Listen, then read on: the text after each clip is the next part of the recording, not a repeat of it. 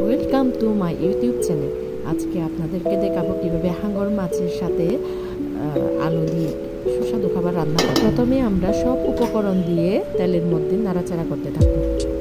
তার মধ্যে দিব আদা, রসুন, পেঁয়াজ, মরিচ আর জিরা। আর লবণ আর হলুদের গুঁড়া হচ্ছে পরিমাণ মতো দিয়ে দিব। তারপর তারপর আলু মিশিয়ে দিব। আলু মিশিয়ে দিয়ে পরিমাণ মতো পরিমাণ মতো পানি অথবা ঝোল, যা যতটুকু প্রয়োজন ততটুকু মিশিয়ে দিব। আর তারপর ঢাকা দিয়ে ঢেকে দিব।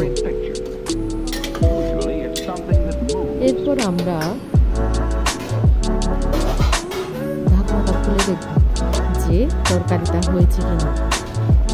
এখন আমরা একটু নেড়ে চেড়ে দিয়ে